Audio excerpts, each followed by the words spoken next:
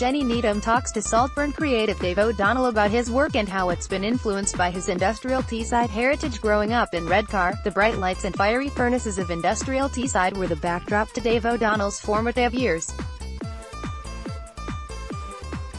His father worked in the beam mill at British Steel. Now 37 and working out of Saltburn, Dave is an artist, his work rooted in his industrial heritage. Steel and light all feature in his pieces for a widening range of clients but the small-scale illuminated retro and rusted signs he started out making are gradually being replaced by large-scale projects, commercial interiors, steel and light fabrication, public art installations and bespoke home pieces. I'm naturally moving into interiors and one-off art pieces as I get more experimental with my fabrication and processes, he says.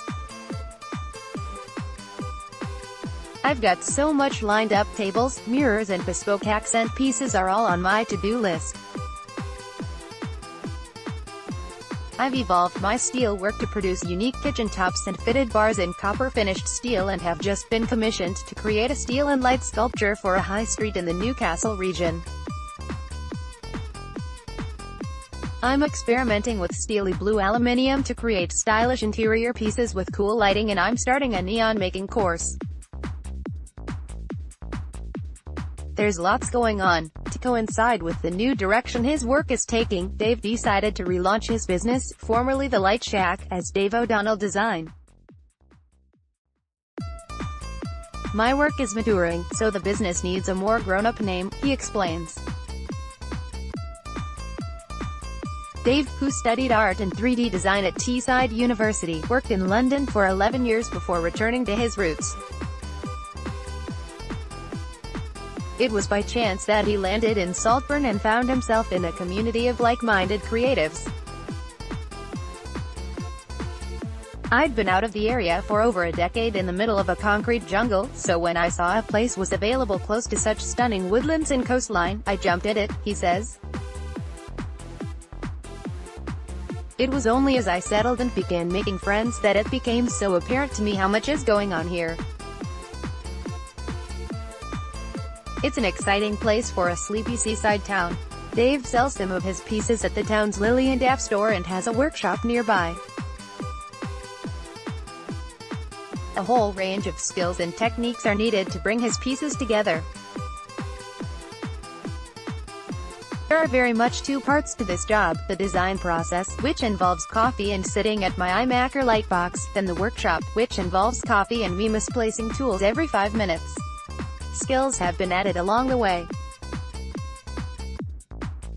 A stint as a pipe fitter's mate in London introduced him to the wonders of welding. The ability to melt something as hard as steel opens up an unlimited amount of creative possibilities, says Dave. I fell in love with the process and it became a passion from that point on. He's learned about wiring, soldering, riveting, patinating, and the ins and outs of ever more sophisticated LEDs. There are also some aspects of carpentry involved, something I'm doing more of as I explore furniture, he adds.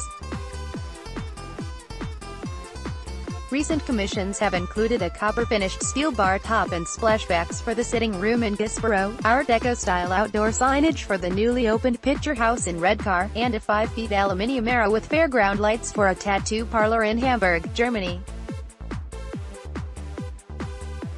Visitors to Staithes Festival last year were greeted by a large rusted anchor on the bay and a neon angel at the bottom of the cliffs, both Dave's work, and an art installation for Bedlington High Street is nearing completion. Weddings throughout the region have featured Dave's work. He installed a 4-feet-high illuminated love sign at Danby Castle, and he makes lighting props for events companies.